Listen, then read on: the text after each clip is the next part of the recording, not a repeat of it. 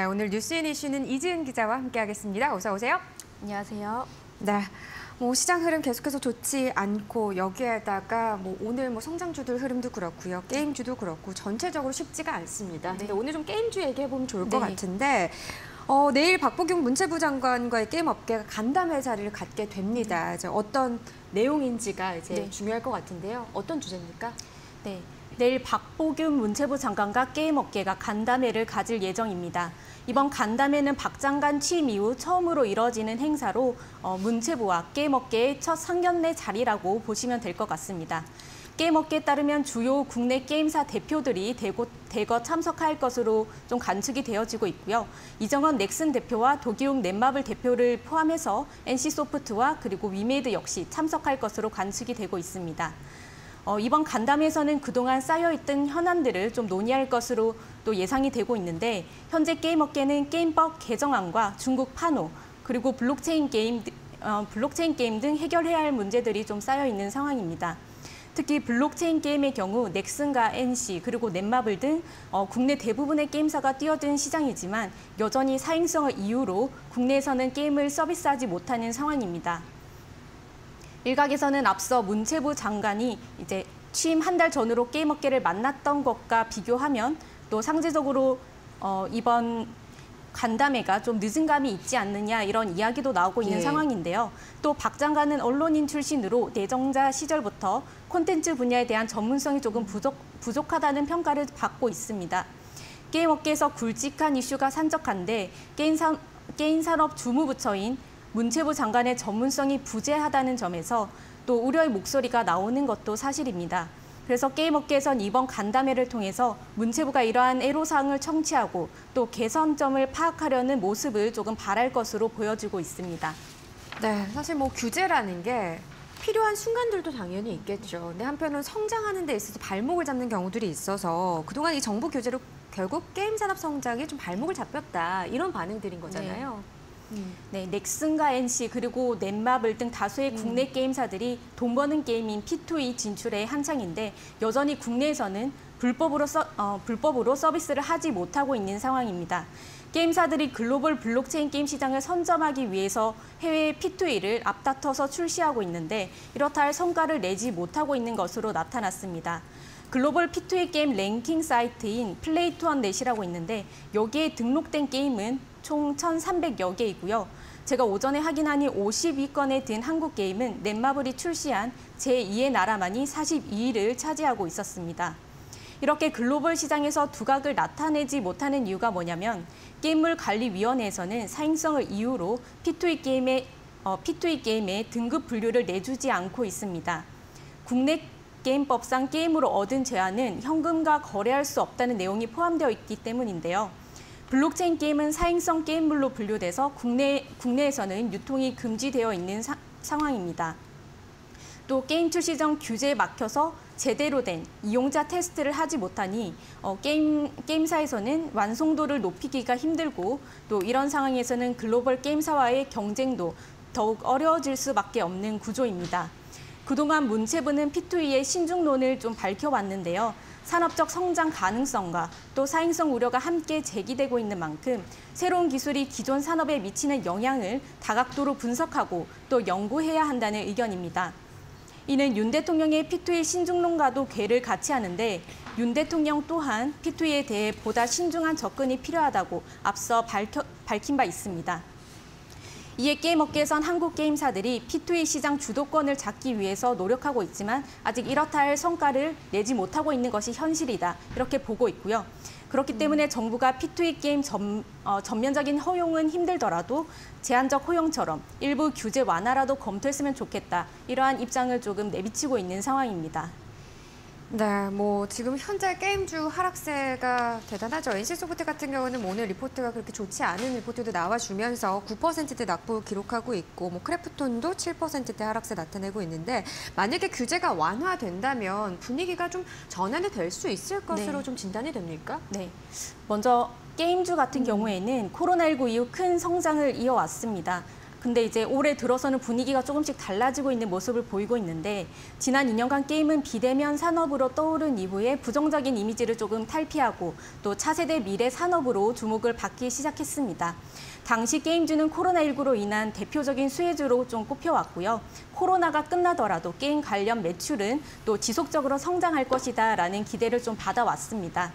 하지만 지난해부터 주춤하던 게임주들은 온- 이제 올해 들어서 주가가 하락세를 좀 이어오고 있는 상황이고 대형주로 불리는 NC와 넷마블, 크래프톤의 주가는 또 최고가 대비해서 50% 넘게 하락하고 있는 상황입니다.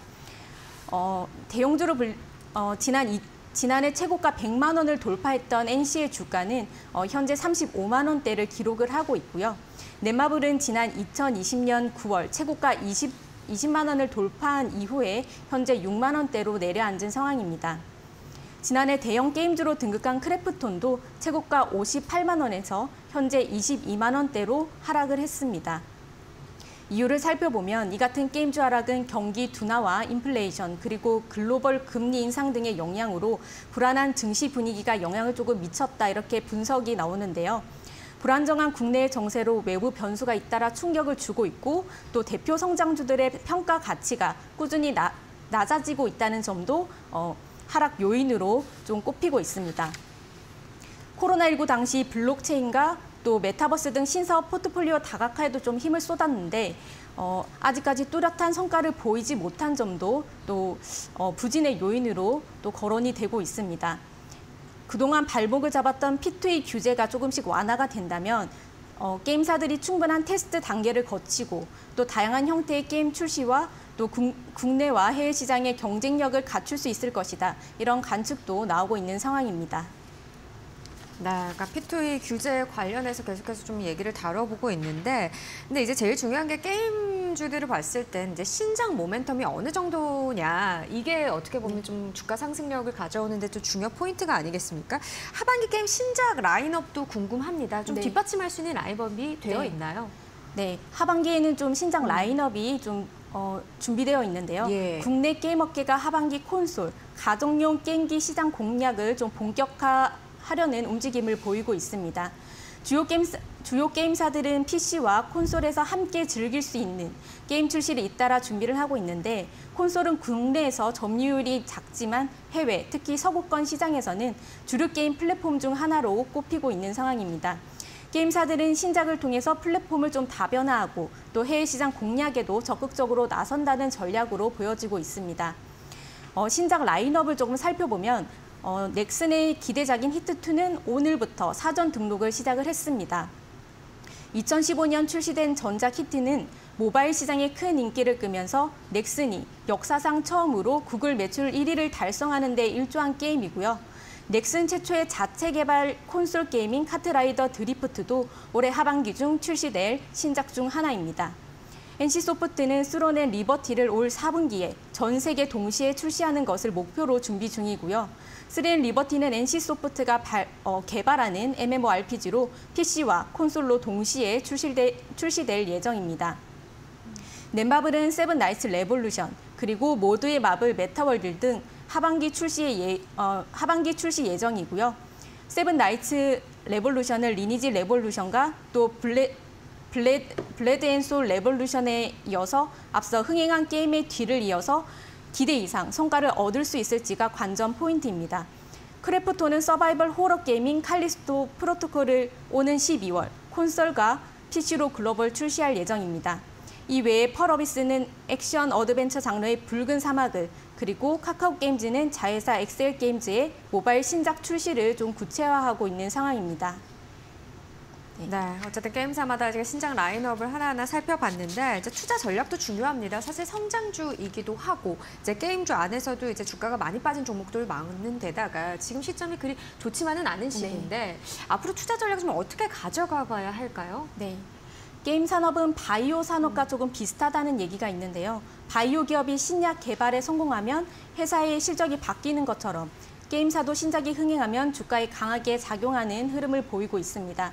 그렇기 때문에 전반적으로 약세를 보이는 중인 게임 산업에도 어, 하반기 신작에 거는 기대감이 클 수밖에 없고 또 앞으로 출시할 신작들의 흥행 결과가 기업 가치에 중요하게 작용할 것이라는 전망 어, 작용할 것이라고 전망되는 이유입니다. 다만 현재 처한 매크로 환경을 고려하면 게임주가 신작 모멘텀만으로는 어, 반등하기 어려울 것이다라는 우려가 나오고 있는데요. 게임주가 연초 대비 40% 이상 조정을 받은 상황이지만 기술주에 대한 비관론이 여전히 진, 진행 중인 만큼 추가 조정을 받을 수 있다는 의견도 나오고 있습니다. 상상인 증권은 지난해 2분기에는 신작 기대감만으로도 주가 반등이 가능했지만 지금은 현재의 매크로 환경은 완전히 다르기 때문에 어, 작은 의구심만으로도 주가 하락이 가능한 구간 이렇게 분석을 어, 하고 있고요. 이어서 게임주 투자를 고려하고 있다면 크래프톤과 NC소프트 등 어, 대형 지식 재산권을 보유하고 있는 대형주 위주로 접근해야 한다. 또 이마저도 기술주에 대한 추가 조정 가능성이 있기 때문에 2분기보다도 3분기부터 분할 매수로 접근하는 것이 좋다 이렇게 추천을 했습니다. 또 주요 게임주 대부분 신작 라인업이 기대 수준과 론칭 일정 수 모두 지난해보다는 올해 더 강하게 나타나는 분석이 나, 어, 강할 것이다 이런 분석이 나오고 있고요. 따라서 영업 실적은 올해 강, 강하게 반등하고 내년에도 성장, 어, 성장세를 이어갈 것이다 이러한 관측이 나오고 있는 상황입니다. 그렇기 때문에 신작 모멘텀과 더불어서 대형 지식 재산권을 보유하고 있는지 그리고 2분기보다는 3분기부터 분할 매수로 접근하는 것이 좋을 것 같다는 어, 분석이 나오고 있습니다. 네, 어쨌든 전반적인 의견은 2분기보다는 3분기부터 좀 분할 매수 관점으로 지켜보자 이런 이야기인 것 같습니다. 오늘 장 좀 많이 빠지는 종목들이 많긴 합니다만 이런 참고 전략 잘 좀 체크하시면서 전략 세우시면 좋을 것 같네요. 게임주 관련해서 전반적인 이야기 나, 나눠봤습니다. 오늘 말씀 고맙습니다.